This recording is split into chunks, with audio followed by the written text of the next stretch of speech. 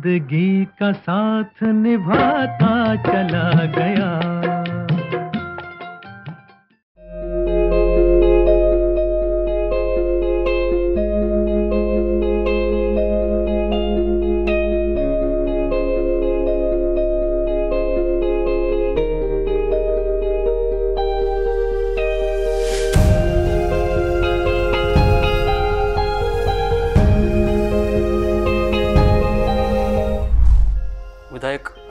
बलवंतराव वानखड़े इनका भतीजा हूँ। वैसे देखा जाए तो आज मेरे लिए काफ़ी मतलब ये महत्वपूर्ण बात है कि मेरे जो चाचा जी है विधायक बलवंत वानखड़े इनके ऊपर अगर बोला जाए तो वर्ड्स मेरे पास सही में नहीं है। ऐसा उनका मतलब इमेज है। आ, मैं बचपन से उनको देख रहा हूँ। हालाँकि 25-30 साल हो गए। जीवन में उन्होंने बहुत संघर्ष किए हैं। संघर्ष करते करते आज वो इस पोजीशन पे है कि इस तालुके के, इस मदार संघ के वो आमदार है।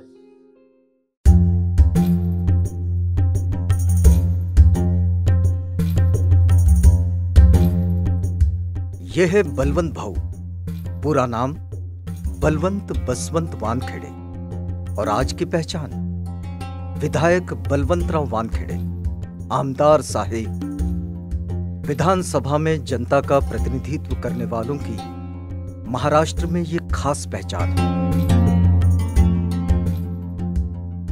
मैं ज़िंदगी का साथ निभाता चला गया मैं। ज़िंदगी का आज का सफरनामा बलवंतराव जी के जीवन संघर्ष से।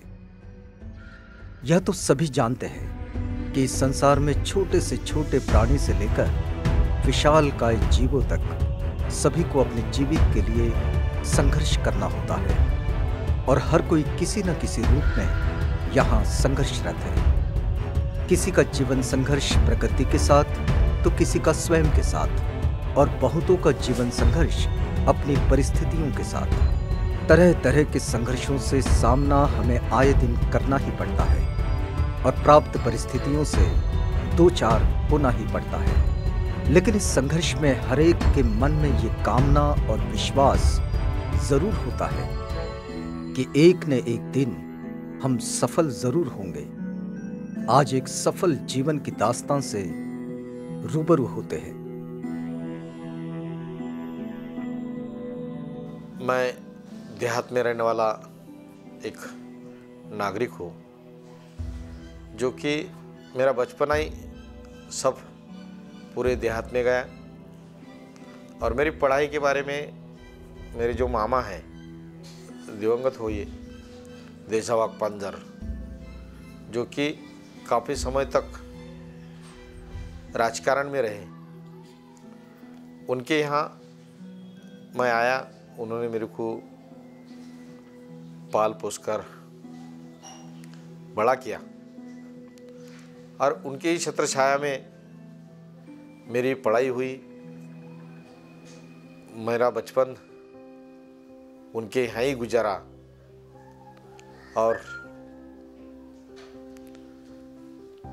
उनके यहाँ ही रहते रहते जो उनकी संस्था है, उनके संस्थे पर मेरे को क्लर्क ये पद पर उन्होंने पोस्टिंग की और मैं क्लर्क का काम करते रहा। यहाँ मामा के साथ रहने का मतलब ये नहीं था कि बस मामा के आसरे ज़िंदगी बसर करना, बल्कि यहाँ ज़िंदगी के मायने कुछ और थे। यहाँ अपने जीवन को अन्य लोगों की ज़िंदगी से जोड़ना, उनकी मुसीबतों में उनके साथ हो लेना, उनकी सहायता करना, उनके दुख दर्द बांटना, हक अधिकार सुरक्षित करने की लड़ाई में उन सब बेबस ज़िंदगी के साथ हो लेना। जो अपने जीवन का अधिकार ही खो बैठे हैं।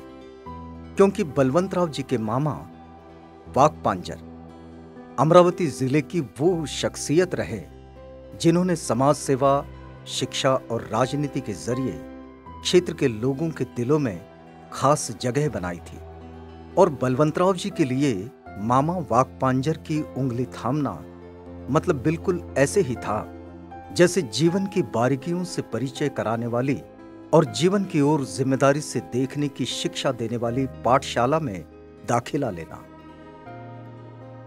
उन्हीं के साथ राजकारण में जो कुछ सीखना है, समाज सेवा कुछ करना है, वो उन, उन्हीं के साथ रहते रहते मैं समाज में काफ़ी प्रसिद्ध हुआ। और मेरी जो समाज सेवा है थी, पूरे समाज के लिए आदर्श थी कि मैं जो समाज सेवा करता था, उसमें से बहुत लोग प्रभावित हुए। लोगों का हमारे काम से प्रभावित होना, ये नेतृत्व क्षमता का एक बड़ा कौशल है। विधायक बलवंत राव जी, आज जिस मकाम पर है, उसके पीछे बड़ा संघर्ष भी है। जिसमें दिन का चैन और रातों की नींद, दोनों से बलवंत राव जी का कई बरसों तक कोई वास्ता नहीं।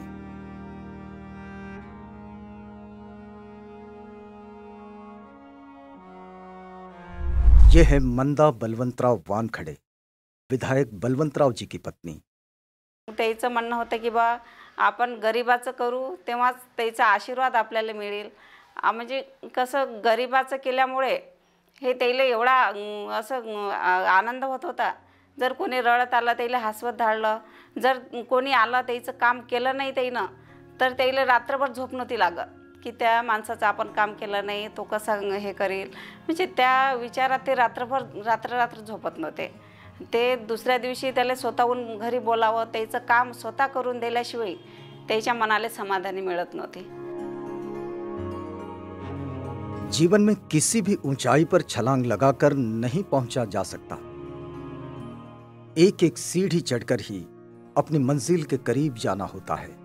समाज सेवा ये बलवंत राव जी के जीवन का मूल है, लेकिन समाज सेवा में कई काम ऐसे होते हैं जो विधायिका से जुड़ते हैं, प्रतिनिधित्व से जुड़ते हैं, और तब मन में किसी खास स्थान को पाने की ललक पैदा होती है। विधायक बलवंत राव जी का ये सफ़र भी कुछ ऐसा ही है। स्टूडेंट लाइफ में पॉलिटिक्स में एंटर किया है। कॉलेज में इलेक्शन जैसे सीआर हो गए जीएस हो गए जीएस इनके इलेक्शन में वो काफ़ी महत्वपूर्ण उनका योगदान रहा है। मैं ग्राम पंचायत में खड़ा रहा ग्राम पंचायत में चुन के आया। पाँच साल ग्राम पंचायत का सदस्य रहा। और दूसरी चुनाव के बारे में बाद में मैं सरपंच रहा।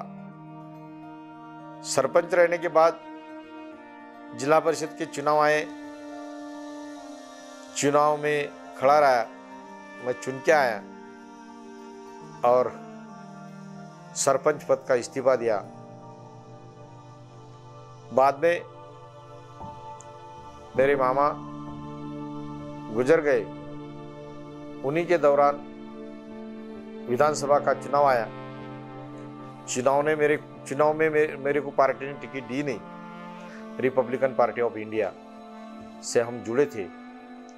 और मैं अपक्ष खड़ा रहा। अपक्ष खड़ा रहने के बाद दो नंबर के वोट मिले। और बाद में और चुनाव जिला परिषद का आया जिला परिषद में चुन के आया। समाज जिला परिषद में आरोग्य और वित्त सभापति बना। वहाँ काफ़ी सहयोग हमारे नेता बबलू देशमुख, इनका बहुत बड़ा सहयोग रहा और उन्हीं के मार्गदर्शन पे मैं 2019 का आमदारकी का चुनाव था। वो चुनाव कांग्रेस के चिन्ह पर, पंजा पर लड़ा और काफ़ी वोट से चुन के आया। इसके पीछे जो मेरी पार्श्वभूमि है, वैसी समाज सेवा की रही। चाहे आरोग्य का विषय हो, चाहे और कुछ अन्य विषय हो, उस पर मैंने जो समाज सेवा की, वो सेवा समाज सेवक में से मेरे को ये पद पर लाके उन्होंने खड़ा किया। दरियापुर विधानसभा निर्वाचन क्षेत्र के विधायक बलवंत राव जी वानखड़े आज भी अपने उस शुरुआती जीवन शैली से जुड़े हैं औरों के दुख को अपना दुख मानकर किसी रोते हुए को हंसकर विदा करना, अपनी ओर से जो हो सके उसकी मदद करना, विधायक बलवंतराव जी के जीवन का सहज भाव है।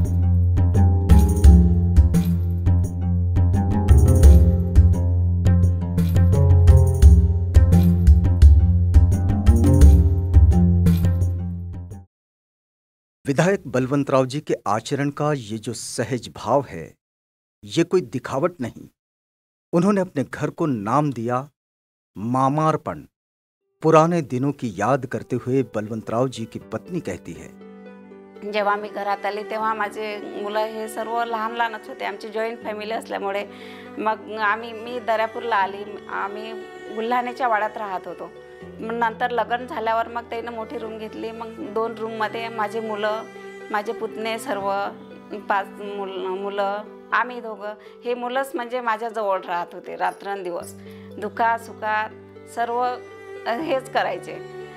मुलंच करायचे. कारण यायला खूप जनतेचं खूप म्हणजे जनतेचे स्वाधीन असल्यामुळे त्याला घरचं काहीच हे नव्हतं.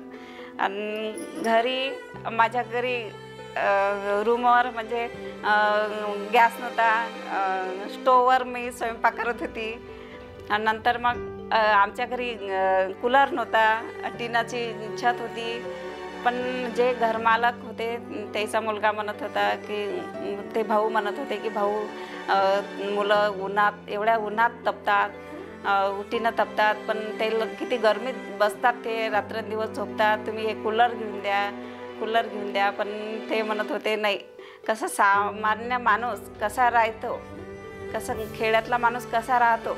हे त्याला जाणीव झाली पाहिजे. हे त्याला समजलं पाहिजे. म्हणून मग ते कसे कूलर नव्हते घेऊन देत. चला बा मुलांना समजलं पाहिजे. कसं राहावं लागते? कसं गरीब गरीबाची गरीब कसे राहतात? दोन वेळचं त्याला जेवण मिळत नाही. पण आपण त्याच्यापेक्षा खूप चांगलं आहो ते त्याला असे जाणीव मुलांना जाणीव करून द्यायची होती. म्हणून असे अं, हे करत होते. विधायक बलवंतराव जी के पारिवारिक जीवन की एक खूबी और भी है और वह है संयुक्त परिवार।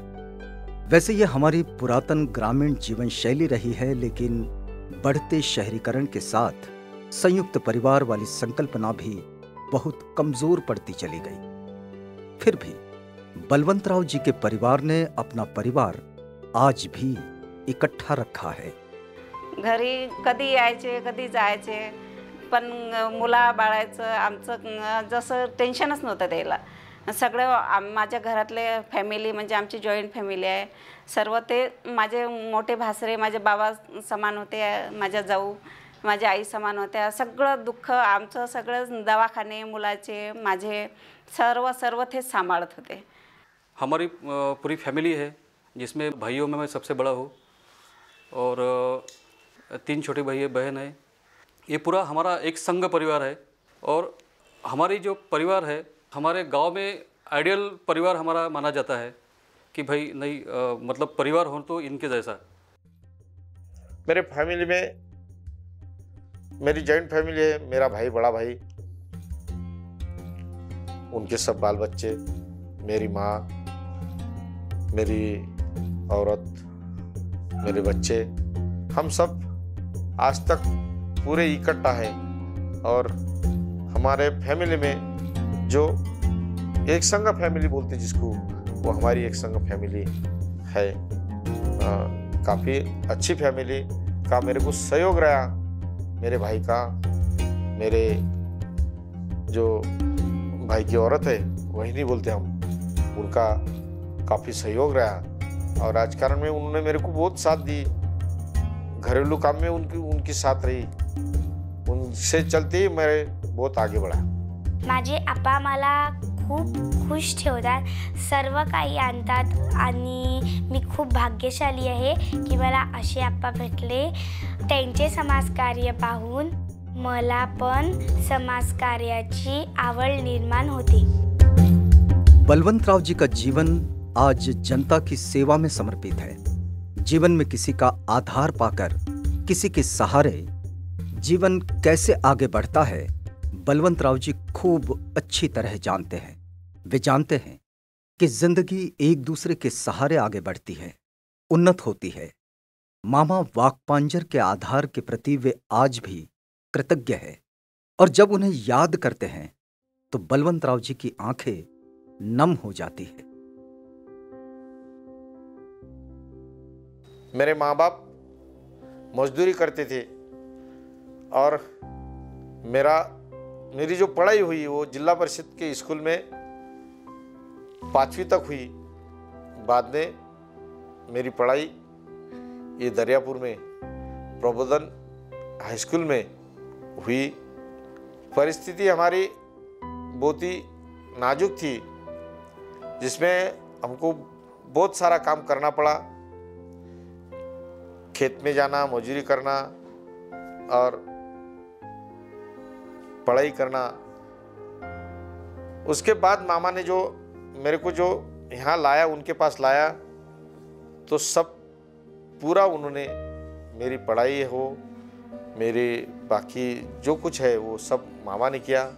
और मामा राजकारण में रहने के बाद मेरे भाई और मेरे को वहाँ जो उनके उनकी संस्था था उनके संस्थे पर लगाया तो हम काफ़ी आ, आगे बढ़े। आज विधायक बलवंतराव जी वानखड़े जो लोगों में घिरे हुए दिखते हैं तो ये कोई आज की बात नहीं।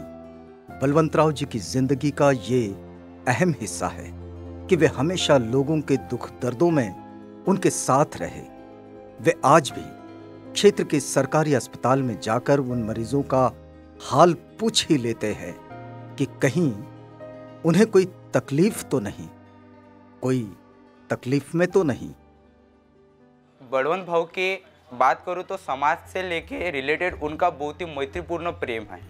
और उस प्रेम के बदौलती उन पूरे जनता का जो मैत्री भाव है, पूरे जनता का जो सहवास है, उनके साथ शुरू से रहा है और शुरू से वो कार्य भी उतने करते आ रहे हैं। और साथ ही साथ सबसे पहला जो मैत्रीपूर्ण कार्य है उन्होंने रुग्णों की बहुत सेवा की है। और रुग्णों की सेवा करते करते करते करते आज उन्होंने सारा जन समुदाय में इतना प्रेम अर्पित कर चुके हैं कि आज जनता की ताकत और उनका उत्साह उनसे उनके कार्य इतने हैं कि आज इतने बड़े अ, मुकाम पे आज वो पहुँच चुके हैं। पूरे दरियापुर तहसील में ही नहीं तो पूरे अमरावती में उनका समाज के प्रति शुरू से बहुत अच्छा कार्य चल रहा है।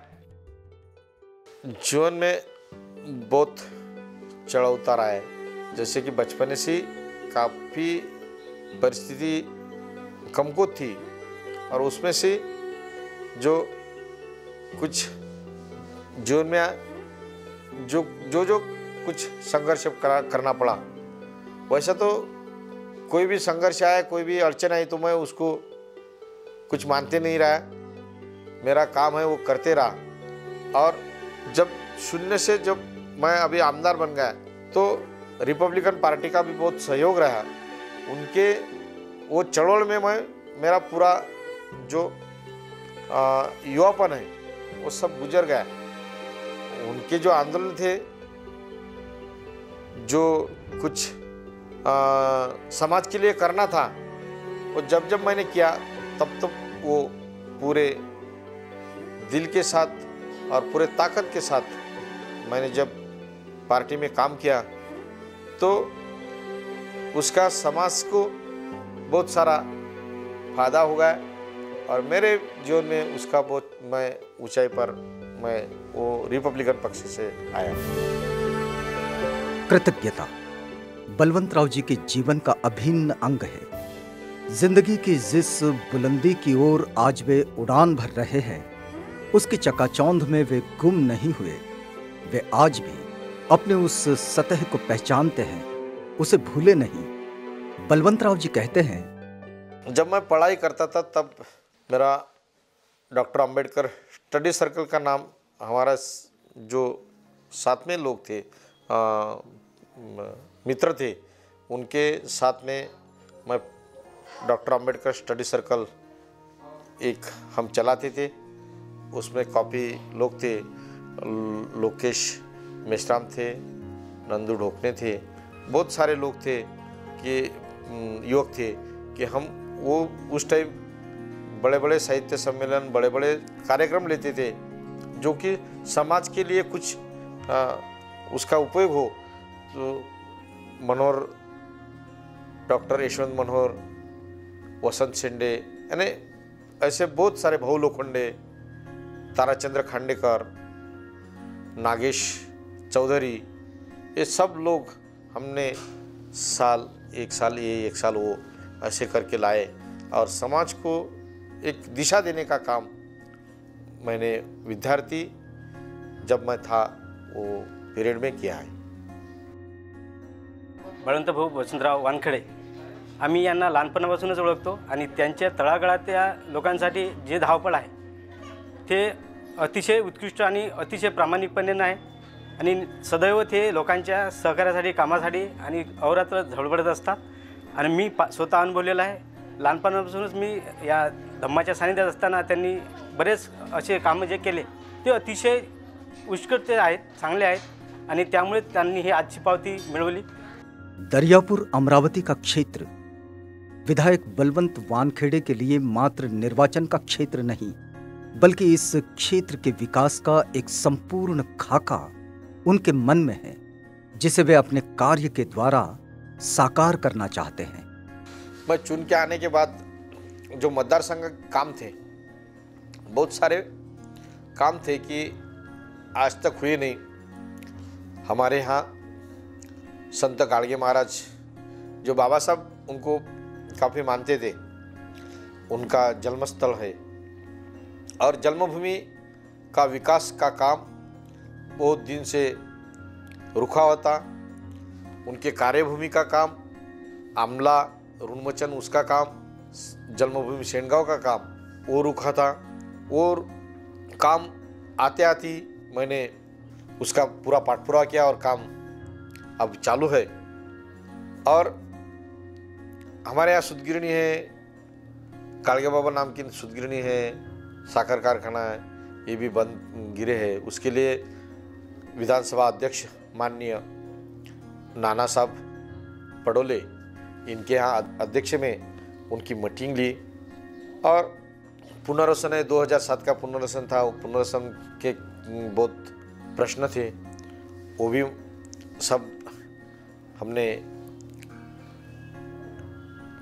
उसका निराकरण किया और मतदार संघ में जो भी काम है अभी विकास के। उसके लिए काफ़ी बार बार झगड़ता रहा बार बार प्रश्न उठ के विधानसभा में उठाते रहा और वो काम जो मतदार संघ के है, वो सब होने होने जा रहे। बहुत सारे रोड है, रास्ते है और गाँव का विकास है। वो गाँव के विकास में जो जो करना है, वो करने, अभी मेरा प्रयास चालू है करने का। गाड़गे महाराज का जो जन्मभूमि है, उसका 18 करोड़ का प्लान है, उसका भूमि पूजन हो रहा है। और गाड़गे बाबा का जो भी जो जो और स्थल है, वो स्थल बाबा साहब के पुतला का सौंदर्य, सौंदर्यीकरण, समाज मंदिर, बुद्ध विहार और दलित बस्ती इस पर ज़्यादा ख्याल करने का प्रयास रहेगा। अभी बहुत सारे गाँव में बाबा साहब के पुतले का सौंदर्यकरण, शिवाजी महाराज के पुतले का सौंदर्यकरण और समाज मंदिर का काम चालू है। विधायक बलवंतराव जी यदि दरियापुर में हैं तो बस लोगों के बीच उनके दुख दर्द, उनकी समस्याएँ सुलझाने के लिए तत्पर बैठे हैं। उनके जनसंपर्क कार्यालय में दिन भर देर रात तक यूँ ही क्षेत्र के लोग अपनी उलझनों के साथ उपस्थित होते हैं। एक जनसामान्यांचे आणि एक कुटुंबासारखं प्रत्येकाला आपल्या कुटुंबातील सदस्य समजणारे जनसामान्यांचे आमदार आदरणीय बळवंत भाऊ वानखडे यांचा मी वीस वर्षापासून कार्यकर्ता आहे. दोन हजारमध्ये त्यांची माझी भेट झाली, जेव्हा दर्यापूर तालुक्यामध्ये एक धम्म ग्रंथ वाटप सोहळा त्यांनी आयोजित केला होता. तेव्हापासून माझी आमची त्यां त्यांच्यासोबतची जे नातं आहे हे अतिशय चांगल्या प्रकारे घट्ट झालं. तेव्हापासून वीस वर्षापासून त्यांचं जे कार्य आहे म्हणजे निवडणुकीमध्ये हरले हरलो असताना पराभूत झालो असताना भाऊ भाऊंनी जनसामान्यांचं कार्य करणे सोडले नाही. आणि आज एक जनसामान्यांचे आमदार आणि हक्काचे आमदार म्हणून आज ते आहेत. मैं जब आमदार बना, मेरा उद्देश्य था ही कि कांग्रेस पक्ष में आमदार हूँ। मन, मेरी चळवळ, मेरा खून ये आम्बेडकरी विचार का है। और आम्बेडकरी विचार के लोग कई हार मानते नहीं। और ज़िम्मेदारी जो आई मेरे पर, ये समाज के लिए बहुत बड़ी ज़िम्मेदारी है। मैं पक्ष का तो हूँ पक्ष के बराबर समाज के हित का जो जो करना है, वो करने के लिए मैं सब, हमेशा के लिए तैयार हूँ। जैसा कि चुन के आने के बाद बहुत सारे निर्णय हैं कि मैंने समाज के हित में मैं खड़ा रहा। और समाज के हित के लिए आगे भी काम करते रहूँगा। विधायक बलवंत बसवंत वानखड़े एक अंतर्मुखी स्वभाव का व्यक्तित्व। वे बोलते कम हैं, लेकिन उनका काम खूब बोलता है। अपने कार्य पर उनका अटूट विश्वास है और हमेशा कार्यकर्ता के मिजाज में रहते हैं। जनता की सेवा में समर्पित एक लोक सेवक की भूमिका बड़ी ज़िम्मेदारी के साथ निभाते हुए वे बड़ी सहजता से कहते हैं। मैं समाज के लिए यही कहूँगा कि जो बाबा साहब की चळवळ है, वो बाबा साहब की चळवळ चलाने के लिए अब आप लोगों ने, सब लोगों ने सामने आने को होना। और अपनी जो चळवळ है, वो चळवळ के ऊपर ही अपनी भलाई है। और मैं ये कहूँगा कि आदमी ने प्रामाणिक दिल से जो काम किया तो छोटा सा छोटा आदमी ये बड़ा बन सकता। और उन्होंने अपनी ईमानदारी से जो काम करना है, वो काम करना चाहिए। और बाबा साहब की, भगवान बुद्ध की जो चळवळ है, जो उनका काम है, वो अपना काम, अपने लिए है वो काम, इसलिए अपन ने करना चाहिए।